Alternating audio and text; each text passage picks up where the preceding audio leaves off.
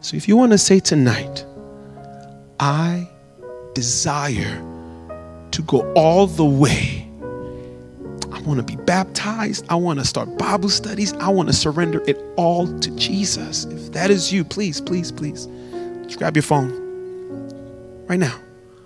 Ah, oh, look at the lights. Look at the, oh, look at that.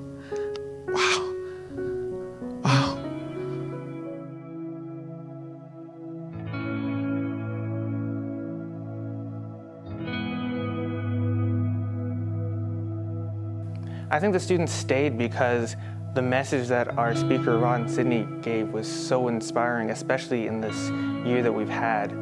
And being able just to be open with someone after a whole year of not really being in contact with everyone was a great blessing.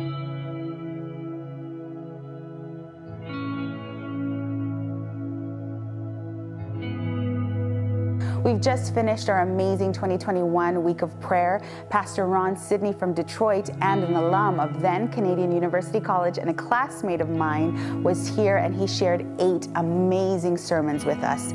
We had times of worship and prayer and tears and laughter and not just the students but staff and faculty alike were blessed by the amazing and powerful experience we had.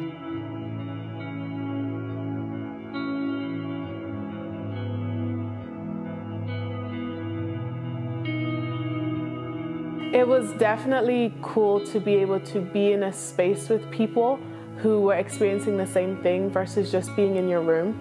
It was nice to be able to sit next to people who had the same energy, had a different energy, and you could just pray with them instantly versus having to wait until the program was done online. I became a lot more excited about the word, and I've always been excited about the word, so my excitement has just quadrupled, quadrupled which is really cool. I saw an excitement to come, which is pretty cool since the program wasn't mandatory, and seeing the numbers grow and grow each night, seeing people tell their friends, seeing people post on social media about it, that was a really cool experience as well.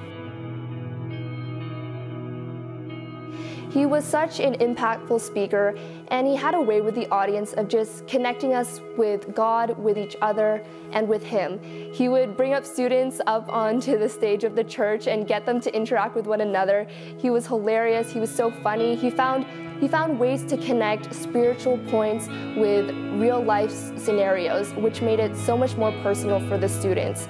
It was amazing just to hear the praise teams up on the stage of the church once again, just singing together and worshiping God. Uh, growing closer to Christ together is just so much more impactful when you're in a space together than on a screen.